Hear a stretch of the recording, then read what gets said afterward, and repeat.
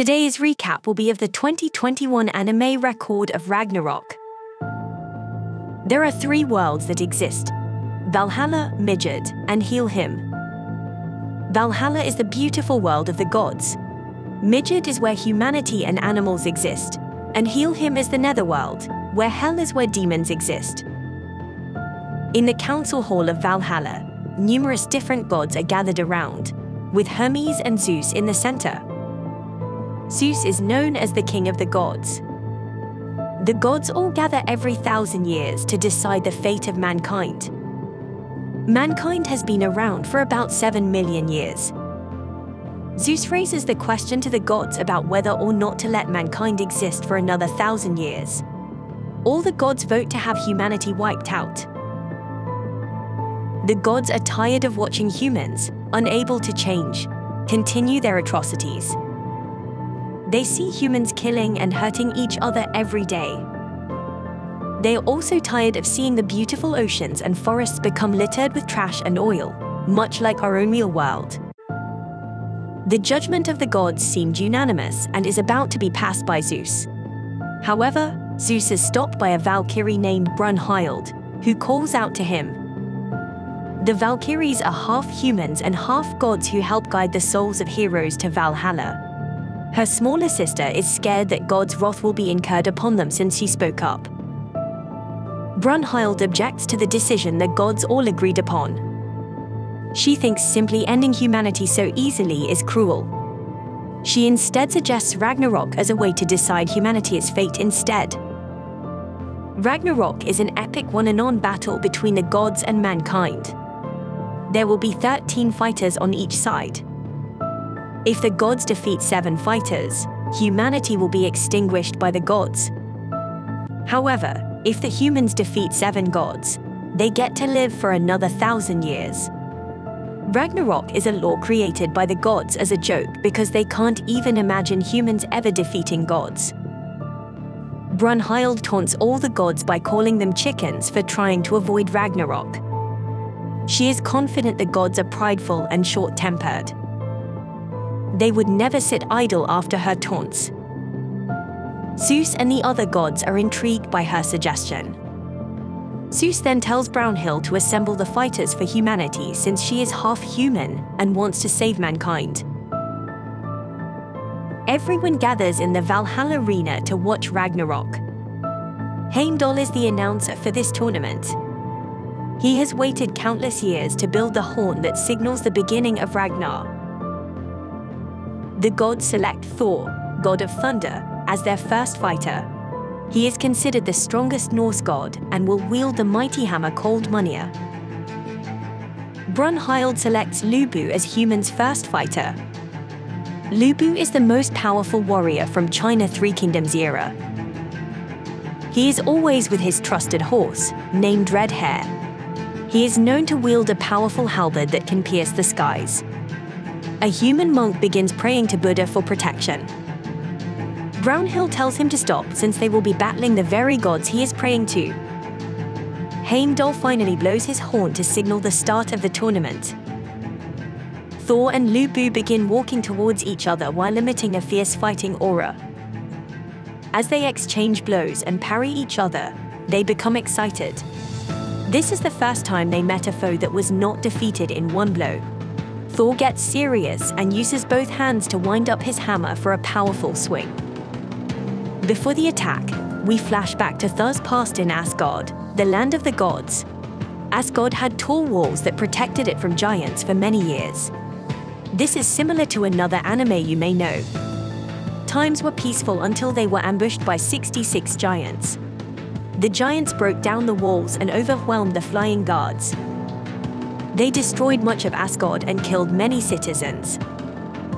The people of Asgard were careless because they became used to centuries of peace. They also never expected the giants to join forces and attack them together. Asgard was on the verge of destruction, and everyone lost hope. This was until Thor stepped in and fought them. He was able to single-handedly defeat the 66 giants using his hammer. However, he found the fight boring. The story then returns to present time. when Thor unleashes the attack he was preparing for Lu Bu. The whole arena is shaken up by the electrifying attack, and the gods think the result is clear. Lu Bu then returns a slash of his own with his halberd and injures Thor. And now the scene flashes back to Lu Bu's past, when he was a child. He was a strong boy, riding a horse, and aware of his own strength. He rode throughout Asia on a journey to find enemies stronger than him. He fought men and beasts alike, seeking a challenge. He defeated all his enemies and became famous over his 30 year journey. Blub gained many followers due to his countless feats of strength over the years. The story that is told is that Lu Bu was captured and begged for his life in his last moments. But in reality, he let himself be captured to be executed. He was tired of living such a boring life when he was the strongest on Earth in his era. The scene returns to the fight between Lu Bu and Thor. They are both thrilled and happy to fight such a strong foe. Zeus is confused because Lu Bu's weapon should have shattered the moment it clashed with the weapon of a god. He looks at Brunhild and suspects she is behind this. Her sister Gol is frightened because she sees Zeus looking at them with a smirk. Brunhild had summoned her other 11 Valkyrie sisters prior to Ragnarok. The Valkyrie has a special ability called Völundr. This allows them to transform into a weapon best suited for the wielder, in addition, the sisters each have a unique special ability. Rengris the Valkyrie that transformed into an halberd for Lu Bu has the power called Shield Breaker. Thoroma glove shatters as he tries to block one of Lu Bu's attacks with it. The gloves serve to protect Thor by allowing him to wield his mighty hammer, Mjolnir. This is because Mjolnir has the power to shatter continents and emit lava-like heat. The humans in the arena crowd all become excited and proud because they are winning against the gods. Hermes tells Zeus that he suspects the Valkyries are transforming into godlike weapons to fight against the gods. Instead of becoming upset, Zeus explains he hasn't been this excited and thrilled since the Big Bang. Thor hammers dropped to the ground but began pulsating with heat and energy. It emits sounds like a heartbeat that can be heard throughout the arena, Thor is glad the hammer finally awoke from its dormant form. Brunhild and Gold both become shocked at the hammer's new gruesome appearance. Zeus explains to Hermes that there is a misunderstanding to the story many hear about those gloves. The gloves are not used for protecting Thor from Mjolnir. They are actually for restraining Thor's strength so he doesn't break the hammer. Before it awakens, Thor takes off his remaining glove and throws it to the ground leaving a crater where it lands. He then lifts the newly awakened Mjolnir and prepares to use it to defeat Lu Bu. Brunhild receives the list of the gods chosen as fighters. Shortly after, she is excited, thinking that one day people may call them god killers. Hermes gets the list of the fighters that have humans and show Zeus. Zeus gets excited after seeing the names on the list. All the gods are excited to see Thor get serious, Thor tells Lu Bu not to die and flings the empowered hammer at him. The legendary hammer almost never missed its target. Lu Bu barely dodges the hammer as it passes him and goes towards the bystanders. Lu Bu takes this opportunity to charge at the defenseless Thor right before he lands the attack on him. The hammer comes back like a boomerang. Lu Bu realizes this and, with the help of his weapon, dodges the spinning hammer. Thor catches the hammer but this is where his true power lies. By using the speed and momentum from catching the hammer, he is then able to launch an even fiercer attack afterwards.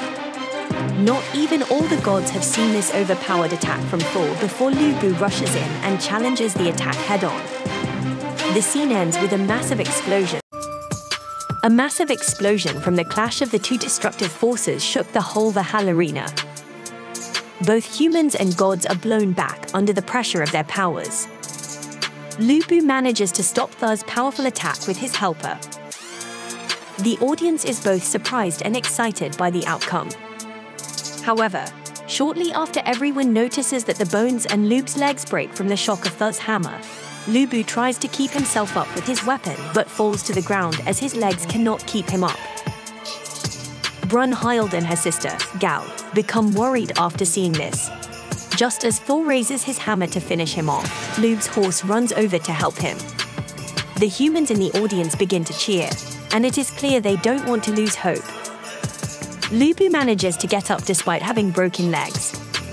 He gets on his horse, Red Hare, and uses his new legs. Zeus allows this since he sees the horse as an extension of Lu's legs. Lu Bu recalls that as a child, he became excited seeing lightning strike down a nearby tree.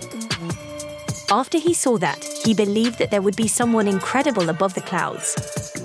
When he grew older, he would train up on the cliffs, swinging halberds countless times and breaking them in the process. He had numerous new halberds to replace all the broken ones. He trained regardless of the weather, through night and day. Eventually, he developed a technique called the Sky Eater, which would pierce the skies in half. He stared into the sky, thinking he would never get a chance to use this perfected technique. Lu Bu becomes excited as he charges at Thor, since he can finally use the Sky Eater on a worthy foe for the first time. Thor also becomes excited, seeing Lu Bu able to fight again. Thor and Lu Bu both prepare their ultimate attack and test their might against each other. Once again, the two mighty forces clash, sending a beam of energy into the sky. Everyone in the audience becomes fixated on them and the outcome. As the light settles, we see Lu's weapon break and his arms torn off. Despite such a loss, Lu Bu is overjoyed, knowing he was able to give it his all and test his own limits. Lu Bu then charges at Thor, letting him put an end to the epic battle. It is announced that Thor is the victor of the first battle of Ragnarok,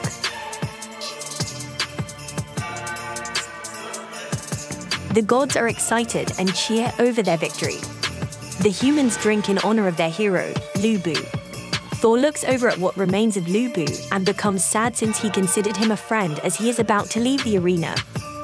Red Hare and Lu Bu's followers charge at Thor, knowing they will die. Thor happily finishes them off as an offering to Lu Bu. Their dead souls scattered into the air, as they could no longer be reborn after dying here. All begins with crying over the loss of her sister. Brunhild and Gallop head back and decide on their next combatant for humanity.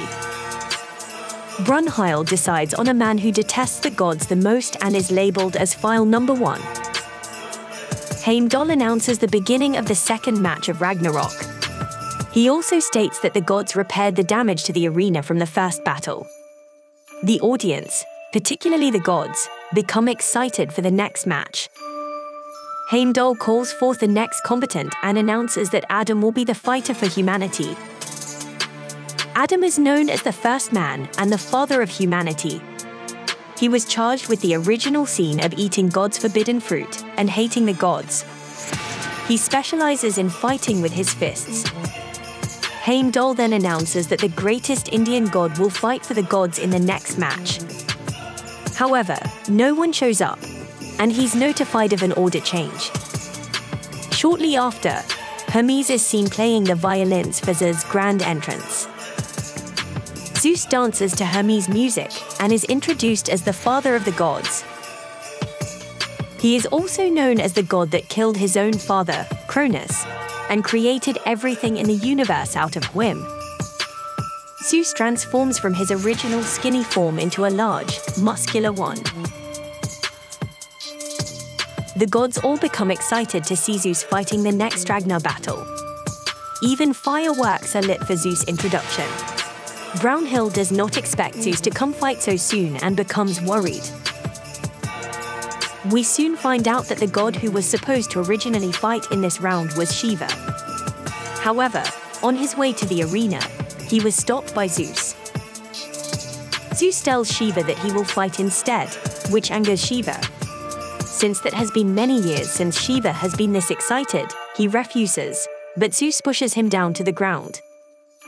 Shiva almost gets into a fight with Zeus regarding this, but decides to let him take this round. Hermes was excited, hoping to see them fight. but became let down seeing Shiva just giving in to Zeus. The arena shakes from excitement and energy as Zeus and Adam face off against each other. Zeus warns Adam before the fight begins that if he does not have a weapon like Lu Bu's, Adam will definitely lose. Adam points up to the Valkyrie Reginleif, who transforms into a knuckle duster for Adam. Zeus thinks that Adam has a good weapon and decides that he will fight Adam barehanded. Adam tells us that he will regret his decision not to use a weapon, Zeus begins the fight by jumping at Adam and throwing a lightning fast punch. However, Adam is able to dodge Susie's punch with ease. The humans in the crowd cheer for Adam since he avoided Zeus' attack. Ares and Hermes think it is funny how excited the humans are getting from Zeus' practice punch. Zeus then launches a flurry of punches at Adam, but Adam continuously avoids them one by one. The punches become faster, but Adam dodges every single one. This switches up his attacks, and he tries kicking at him, but Adam jumps right over him. Zeus then tells Adam that he can't win if he doesn't fight back. Adam then launches a punch of his own, scratching Zeus' face. This is surprised by his speed, but also recognizes his attack pattern.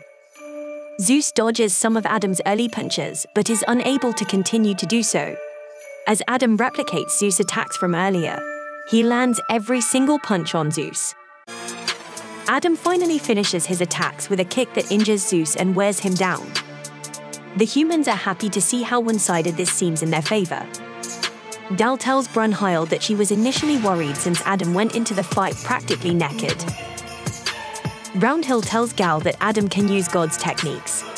Since God created man in his own image, Adam is able to copy and mimic all of their techniques.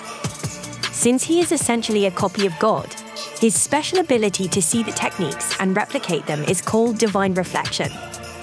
Zeus tells Adam that he hasn't had this much fun in thousands of years. And just then he begins to use his footwork to speed up and attempts to kick at him. Adam dodges this attack and copies Zeus' footwork and kick, sending Zeus flying. Zeus crashes into the edge of the arena from Adam's attack.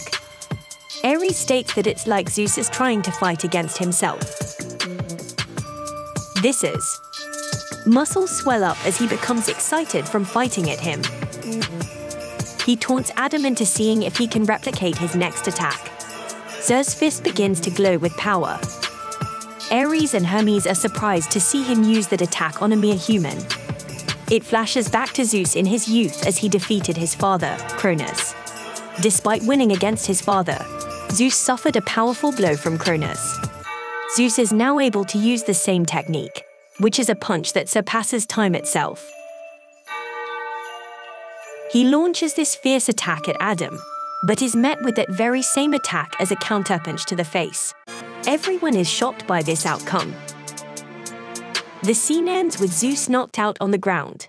Previously, Zeus, the father of the gods, and Adam, the father of humanity, faced off in the second match of Ragnarok. After exchanging blows, Zeus was knocked out on the ground from Adam's fierce punch. It was the powerful punch that Adam stole from Zeus using his divine reflection ability.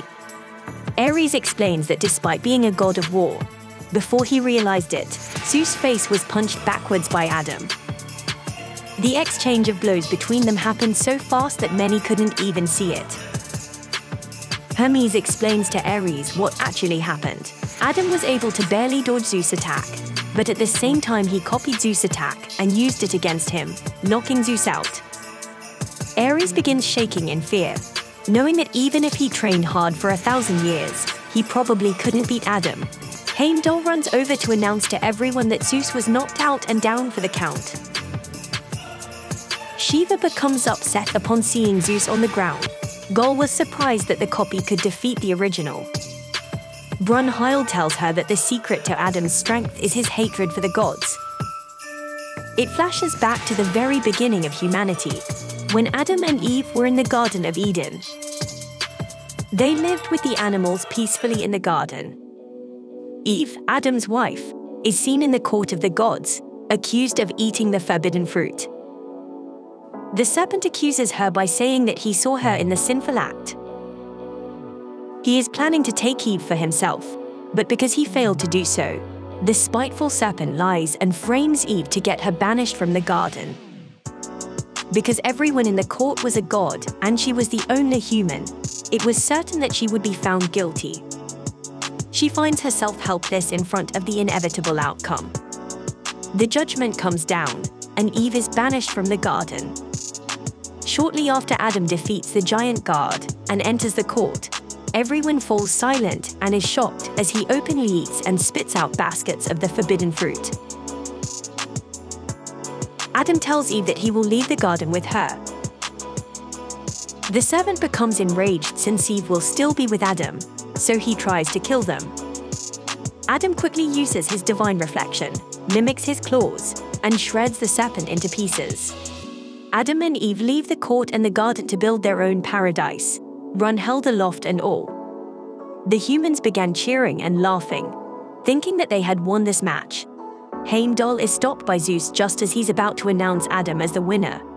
Zeus recovers and tells Adam that he doesn't sense hatred in his eyes, despite what everyone says. Adam explains that it is only natural for a father to protect his children. All the humans are touched by Adam's words and begin praying for his victory. Zeus is sweating profusely and begins to steam. His body begins contracting and continues to release steam. Even Loki, the god of mischief, joins Odin to see Zeus get serious during a fight since it is so rare. Zeus wriggles in pain as his body transforms into its gruesome final form. Brunhild becomes worried as she and her sister instinctually begin to tremble in fear at the sight of Zeus' new appearance. Zeus smiles as he takes on his new form. Hermes predicts that Zeus cannot stay in that form for very long, given the damage he has taken. Zeus unleashes powerful punches from his compressed muscles at Atomic. Adam dodges them and counters them with the same punch that he copies from Zeus. Zeus continues, taking blows from Adam's copied punches. Brunhild begins to panic as she catches on to Zeus' plan. Adam's use of his divine reflection ability begins to take a toll on him. Moonhill thinks Adam is overheating as he continuously copies God's attacks as a human. Loki thinks Zeus is also overheating and taking blows. Despite reaching his limits, it becomes a battle of attrition and endurance between two. Loki gets excited by wondering who will be the last one standing. Adam begins to bleed from the strain on his eyes and body, which finally lands a fatal blow on Adam, who continues the onslaught of attacks. Adam becomes helpless and tries to defend himself against all of them. Despite being unable to see, Adam doesn't give up. He grabs a hold of Zeus' hair, and they exchange fierce blows. Zeus finally falls on his knees and reverts back to his original form. All the gods become worried for Zeus. But it is revealed that Adam had already died. Even after he was dead, Adam's body continuously threw punches at Zeus. Heimdall announces that the final victor of the second match is Zeus and the gods. Adam's children are sad for his death, but all stand proud, having learned how to stand up against the gods from Adam. Gol other sister Hrist hugs her to comfort her sadness from the loss of another sister, Brunhild is distressed from another loss and begins binge eating plates of pies. As they contemplate their next fighter, Kojiro Sasaki volunteers to fight next. The Valkyries are confused since the only ones summoned to Ragnarok are in their strongest form, but Sasaki looks different than what they imagined. Brunhild gets up and knocks over a container of milk, which Sasaki eloquently catches with his sword he doesn't even spill a drop in doing so and drinks it all. Sasaki tells him that 400 years have passed. He has never stopped training with his sword. He also tells them that he is still evolving and that this is the age at which he is at his strongest, which delights Springhill as the third match of Ragnarok that's being prepared. The audience notices there is ocean water in the arena now. Heimdall announces that the fighter is representing the gods, could be Poseidon, Poseidon is Zeus' brother and god of the sea, also known to many as the king of the ocean. The ocean water in the arena splits in half as Poseidon makes his grand entrance. The humans and even the other gods become scared after seeing Poseidon. Heimdall, who then introduces Sasaki as the fighter for the humans. Sasaki is the greatest loser in history, but every time he loses, he evolves and becomes a stronger swordsman.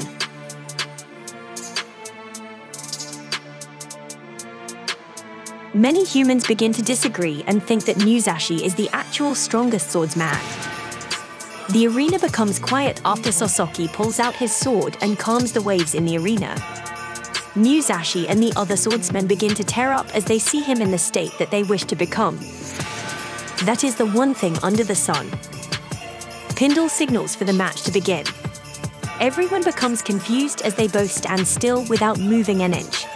Sasaki envisions a scenario in which he is stabbed by Poseidon if he charges in at him.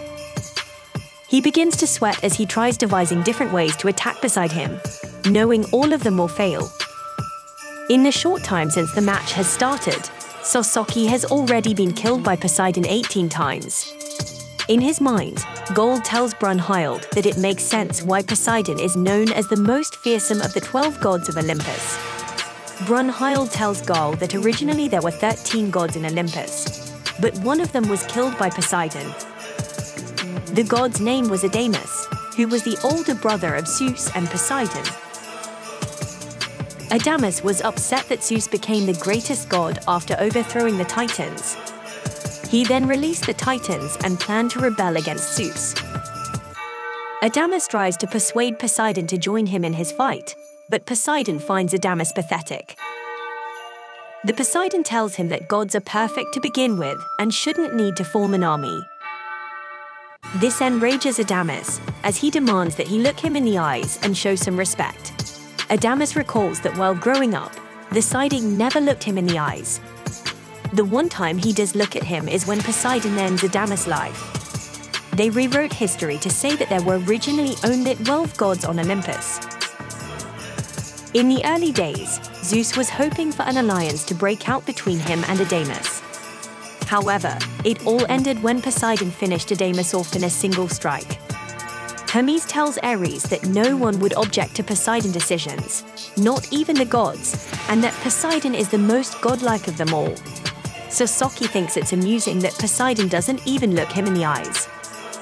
The scene ends with everyone being surprised that Sasaki sat down in front of a god during the fight. Previously, the third round of Ragnarok began between Poseidon and Sasaki. Everyone was confused as to why Sasaki started to sit down during the match, in the past, Yang Sasaki was a disciple of a renowned Japanese swordsman. Hayakatsu, the nephew of Master Seigen, the head of the dojo, defeats another disciple and complains about Sasaki's lateness. He challenges Sasaki to a duel with wooden swords. Sasaki blocks most of his attacks, but eventually loses by giving up. Master Seigen asks him why he gave up, Sasaki explains he can't win against Kaguya Katsu, even if they fought 100 times as he is now. Everyone in the dojo thought Sasaki lacked talent for the sword. Sasaki begins to try and figure out how to win against Kaguya Katsu. He begins training in forests and observes the nature of fights between animals. Sasaki's true talent was increasing his understanding of victory with every loss. After six months, Sasaki returned to the dojo. He tells Kagaku that after many tries, he was able to defeat him in his mind. Taikutsu becomes upset by his comments and attacks him. However, in a split moment, he felt that he would have died if he had gone any further with his attack. Sasaki then requests a duel with Master Seigen, which he accepts. Seigen unleashes a fierce fighting aura that thrills Sasaki, after Sasaki lost, he stopped showing up to the dojo again, but this time for a few years. Seigen has lost his eyesight but finds Sasaki in the woods out of worry. Sasaki welcomes him and brings him inside. Seigen is able to sense the many days Sasaki has spent training in the room with mental battles by feeling the cuts on the walls. Despite being blind, Seigen wants to recommend Sasaki to become an instructor for dojo, but he declines. Instead, he wants to go on a journey to experience more losses and become stronger. He sought out those masters of the sword and repeatedly challenged them to duels, but lost every single time. He continued to use this experience to strengthen himself. That way, he can win against them in his mind. This is why he's known as History's greatest loser. The gods look forward to seeing what Sasaki will do against Poseidon. Sasaki starts with a powerful downward slash, which Poseidon dodges. As Poseidon is about to counter him, Sasaki uses his incredible, trained body to change the trajectory of his sword, which is very difficult to do. He not only cuts off Poseidon hair, but also makes him look at Sasaki. The Valkyrie and humanity begin to have hope in their victory. Sasaki thinks the sword it first transformed into is the perfect blade for him. The gods become shocked as Poseidon begins to walk towards Sasaki on his own. Poseidon launches a volley of thrusts with his sharp trident. Sasaki dodges all of them, not because he could see them but because of his experience. Brunhild explains the goal that Sasaki had in mind when he cloned Poseidon the moment he stepped into the arena. He has simulated over a thousand of Poseidon attack patterns from the moment he saw him.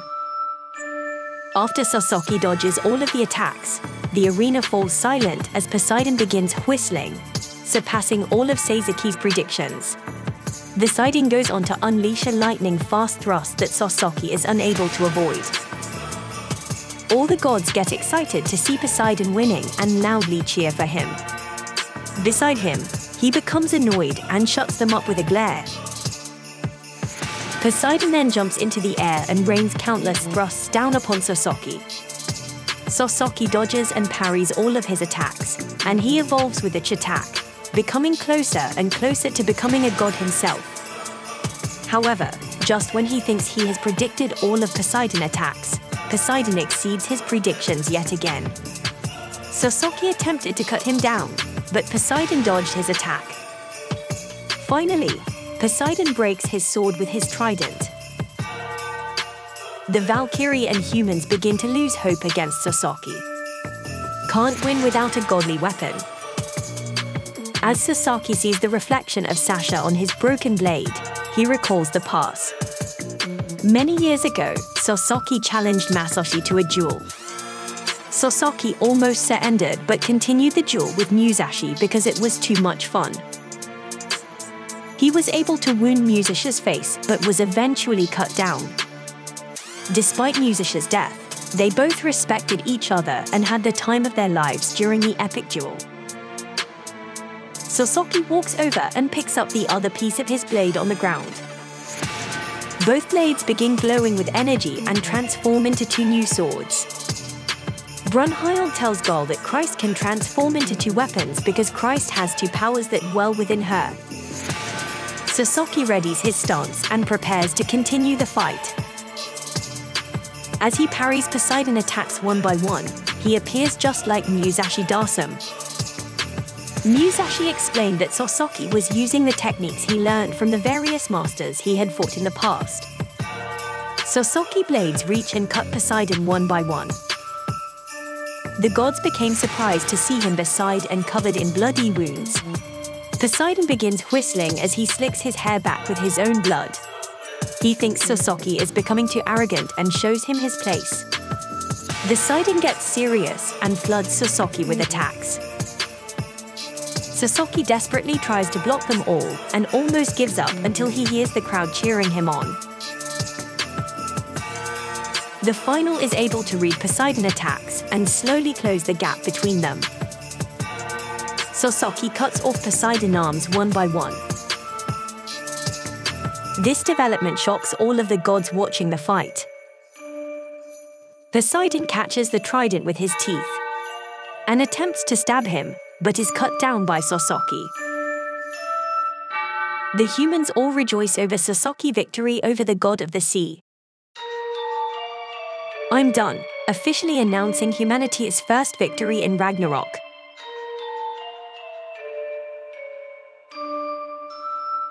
The gods get together and discuss their next moves. Zeus tells the other gods in the room that mankind is strong. and they have to get serious. Shiva is pumped to go fight next. However, the Greek gods want to pay mankind back first after the loss of Poseidon. Göll catches Brunhild talking to Hermes about something in private. Heimdall announces that the next fight will take place in the recreation of 19th century London. He introduced the fighter for mankind as one of the most famous murderers in history, Jack the Ripper. The humans are surprised and upset that a criminal like him would represent them. Heimdall then announces the fighter for the gods. It is Hercules, son of the king of gods, Zeus. The anticipation and excitement in the crowd rise as the two fighters enter the arena. Will humanity live for another thousand years, or will the gods wipe them off the face of the planet? Tune in for Season 2. Welcome back to the channel. Today we'll be looking at Season 2 of Ragnarok. According to Göll, humanity won the first battle against the gods but is now outnumbered. Brunhilde agrees and anticipates that the gods will use a formidable fighter, as Göll ponders who this fighter might be, Hercules arrives, exuding strength. Göll eagerly greets him. Hercules reveals he will fight in the next match but will advocate for humanity's survival. Brunhilde wishes him success. Loki questions Hercules' loyalty, but Hercules states that he is on the side of righteousness. Brunhilde reveals that Jack the Ripper will fight against Hercules, and on Jack the Ripper's demand, the arena has been transformed into a 19th century London, now, before your eyes is a replica of 19th century London, England. It's God versus man in a knockdown, drag-out street fight. Now, representing humanity in round four is this man, the most infamous killer in the history of mankind, Jack the Ripper!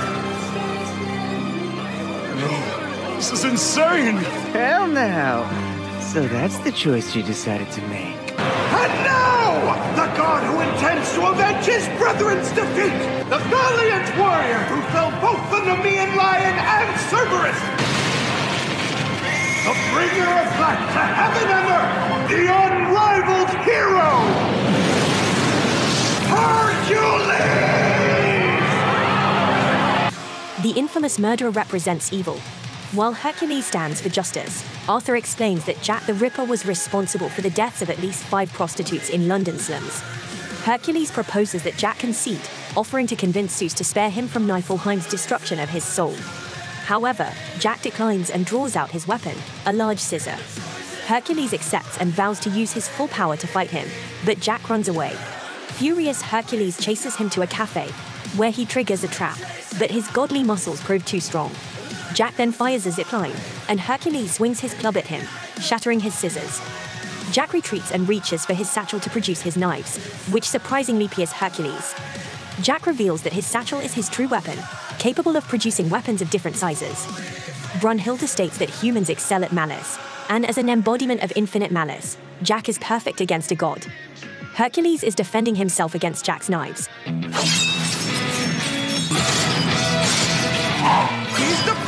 Every last one! Jack just keeps changing up his throws! The Ripper is letting him rip! Slice him into a million pieces, Jack! Jack, you got him scared, now finish him off! He's not backed into a corner! Hercules is moving closer and closer to Jack! Get out of my sight! But Jack's throws are becoming erratic forcing Hercules on the defensive despite sustaining cuts. Hercules approaches Jack and attacks with his club. Jack blocked the blow with an umbrella, earning some respect from Hercules. Hercules then unleashes a shockwave that knocks Jack into a nearby building. Jack pulls out a switchblade for Act 2. The audience is seeing Hercules' tattoos expand, which prompts Loki to inquire about their significance. Ares is clarifying that the tattoos signify the cost of Hercules' achievements, he is explaining that Hercules completed the 12 labors and mastered the 12 divine arts. But each use of these powers causes his tattoos to enlarge, inducing unbearable pain if the tattoos cover his entire body. He will die, and his soul will be destroyed. Despite the danger, Ares has faith in Hercules. He believes that Hercules' true strength is his unwavering determination, which even the gods cannot break. In ancient Thebes, a young boy named Castor is trying to save a calf from bullies who want to sell it for medicine. Alcides, who later becomes known as Hercules, is helping defend Castor but gets beaten up. Castor asks why he fought, to which Alcides explains his desire to defend what is right. While hunting, Alcides charges at a boar but is quickly knocked down, and the bullies taunt him about his weakness. They suggest he drink the blood of Zeus Ambrosia to become immortal, but warn that if he is not a true hero, he will die. Castor reassures Alcides that the bullies are just spouting legends and encouraged him to improve himself in his own way. Zeus is seeking everyone's opinion to destroy the Thebes for their continued mischief. Some gods are suggesting teaching mankind a lesson, but Ares wants to handle Thebes himself. As Ares descends, the people submit, waiting for their fated demise, but Alcides steps up, trying to save everyone. He eventually drank ambrosia and started disintegrating. Ares thought Alcides was dead, but he returned with a stronger body. Ares' soldiers attacked Alcides, but he easily defeated them all. With this new power, Alcides was able to fight on par with Ares. Zeus eventually stopped the fight and made Alcides a god on the condition that he led mankind to righteousness. Alcides accepts Zeus' proposal as there is no other way for him to survive, and he becomes a god named Hercules. Jack and Hercules engage in a heated battle. Jack is becoming more aggressive and throwing his switchblade and knives at Hercules.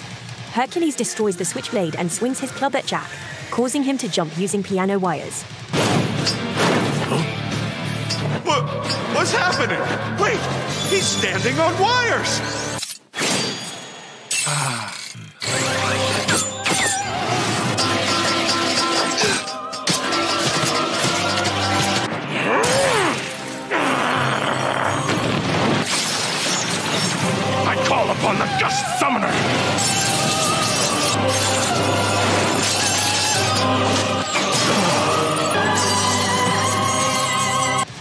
Mentions the possibility of rain in London and asks for an umbrella, but Hercules has already destroyed it.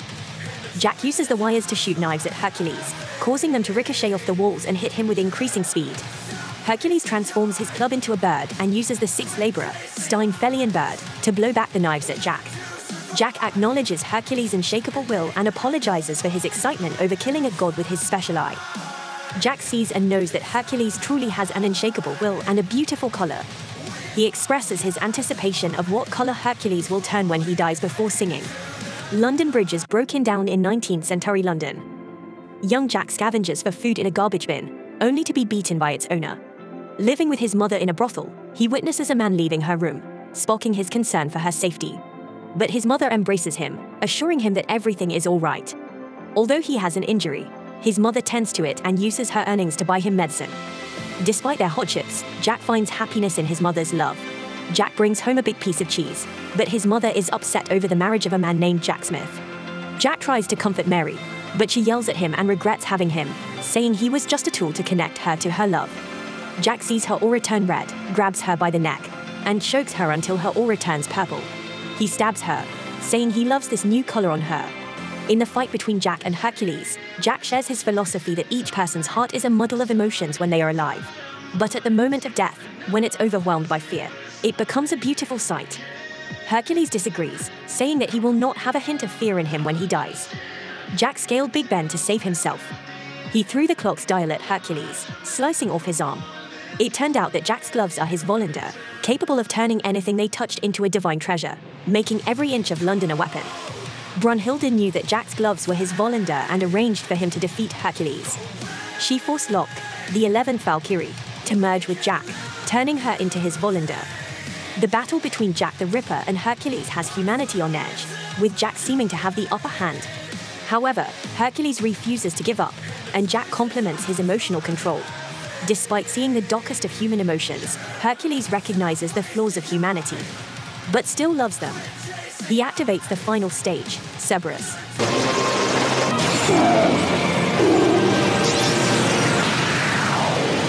I summon the Hound of Hades! Is that?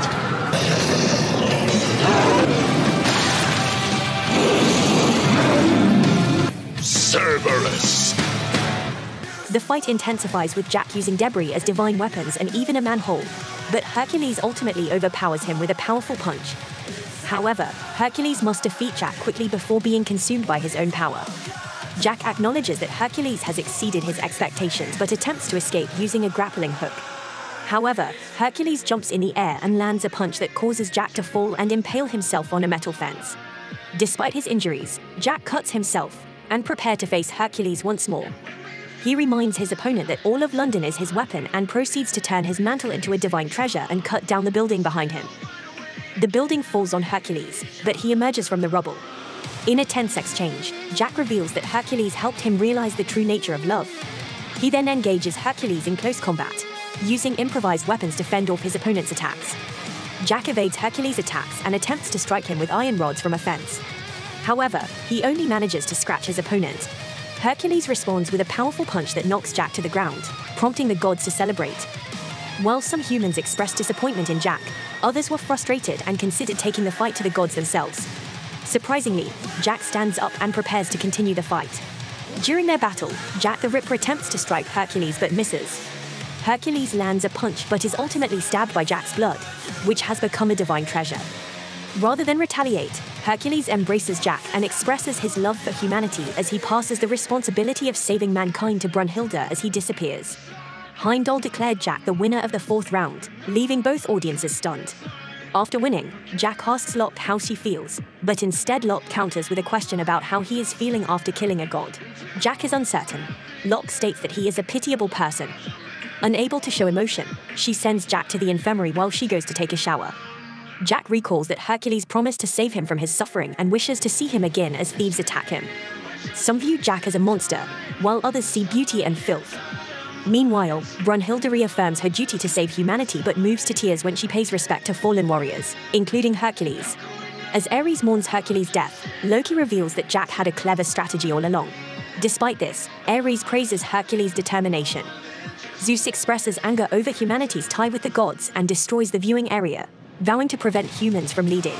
Later, the Norse god Loki asks Buddha by the fountain if the Valkyries have always been as strong as they were during the fight, and proposes a theory about a power called Sambandhana that can allow them to resist the gods. Buddha breaks his lollipop, and the seven lucky gods appear, claiming to be arbiters of justice. Preparing to attack Buddha, Loki stops them but then joins their side. Buddha states that if they want to fight, they should hurry and release his aura, putting pressure on the gods. Kojiro helps Buddha while stating that he doesn't approve of ganging up on others.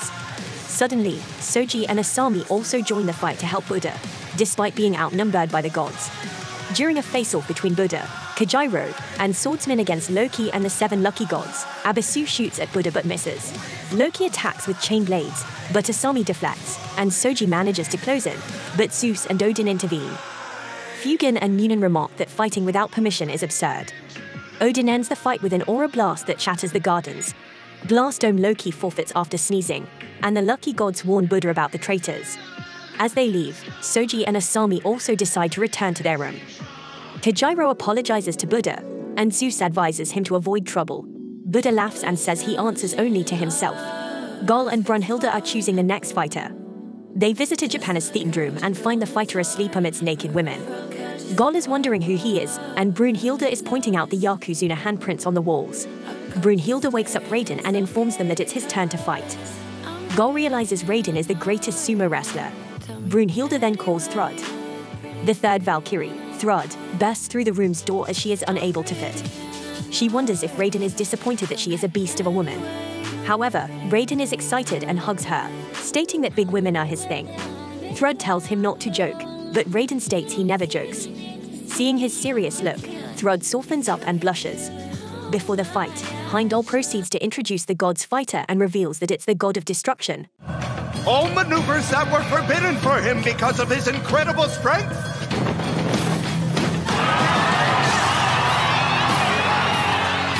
At the east entrance, representing the humans in round five from Japan, Tameemon Raiden!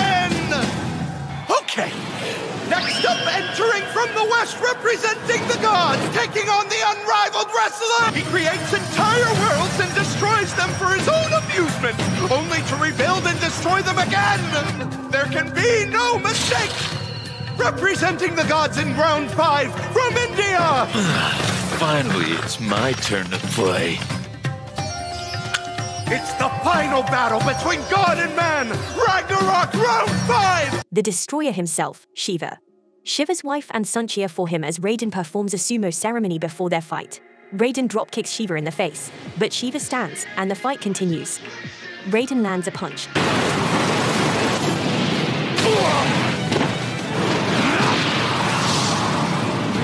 Buddy, you got a lot to learn. But Shiva blocks it. However, Raiden immediately follows it with a Russian hook and punches Shiva, causing him to fall on his knees. He grabs Shiva's head, intending to finish the fight, and knees him in the face. However, Shiva blocks the hit and punches him in the chest, sending him flying. Shiva expressed his desire to keep enjoying this fight while Raiden took a more serious pose. In Konnono Province, Japan, January 2017, a baby named Tarokichi Seiki was born, but his muscles were too powerful to be handled, and as a result, his bones broke while attempting to walk for the first time. He persevered and eventually developed a new set of muscles known as the Hundred Seals. To counteract the old ones, Raiden unleashes the Hundred Seals, causing his muscles to go wild to bring them under control. Huh? Seriously? After all that, you're going to self-destruct? Rude! I'm counting on you!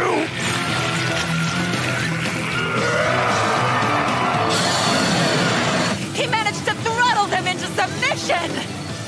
For that is the Völundr of Tameemon Raiden.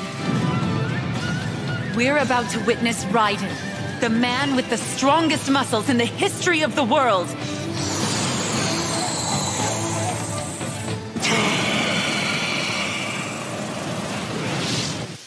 Raiden calls Thrud and activates his supermuscular exoskeletal sumo belt.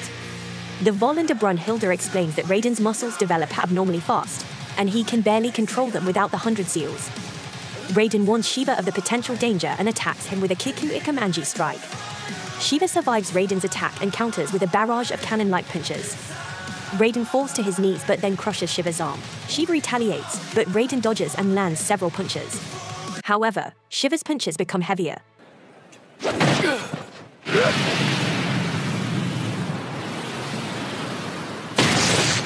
You've got skills.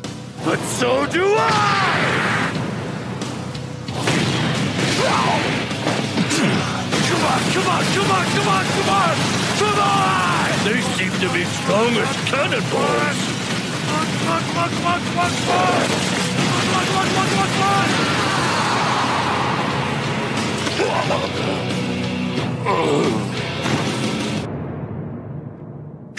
on!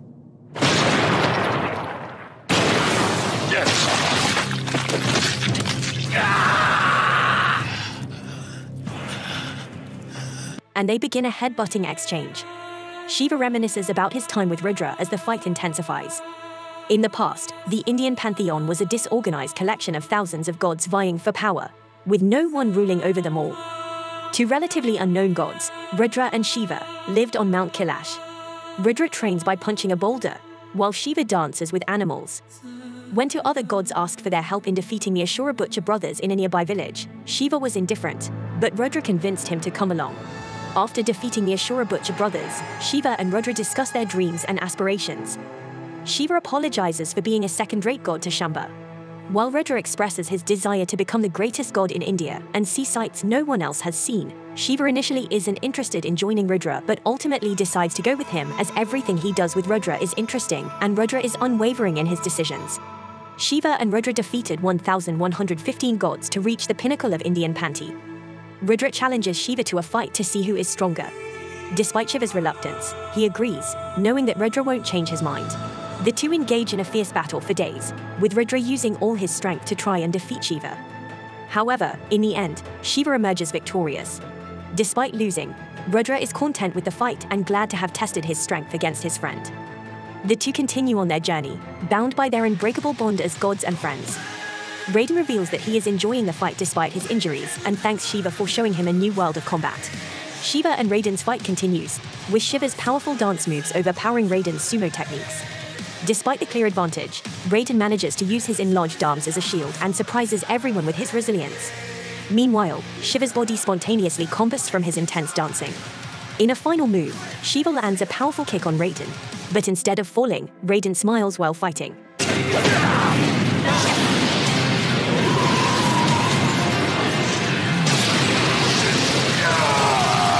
What do you think? My dancing's pretty hot, huh? Raiden's smile catches the attention of Tanakazi, who feels Raiden's happiness and fights with all his mind. When Tarokichi was five years old, he observed a group of children practicing sumo, and after defeating several of them, Toraji invited Tarokichi to fight despite Tarokichi's fragile body.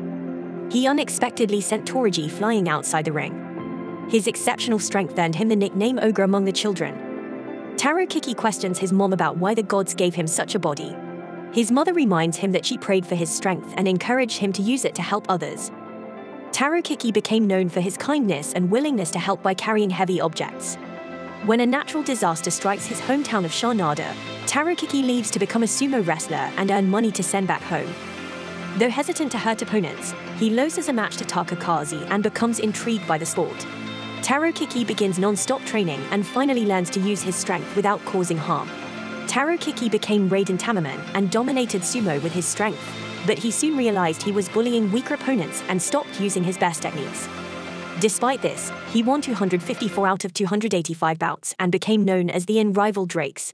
Eventually, Raiden retired without ever using his full strength. Raiden decides to fight with all of his might against Shiva. Raiden unleashes a powerful open palm thrust on Shiva, blowing away two of his arms and sending him flying. Shiva stands up with only one arm left, and Raiden's attack breaks the sound barrier. However, the recoil of the attack causes Raiden's body to rip apart, but Thrud holds him together. Raiden tells Thrud to migrate his muscles even more, risking his life as a sumo wrestler. Shiva activates Stendava Koma and turns red as he burns up. Get ready.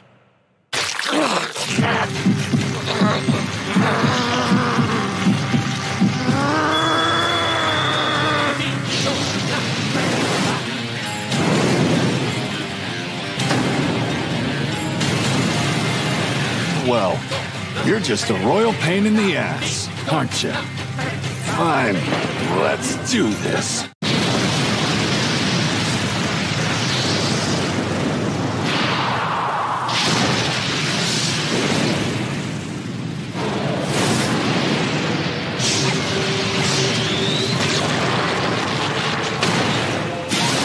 Those attacks will carbonize his body.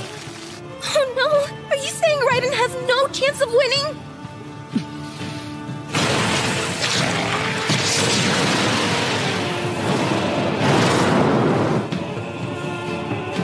Brunhilde compares Shiva and Raiden, stating that they both become stronger by carrying the hopes and dreams of others.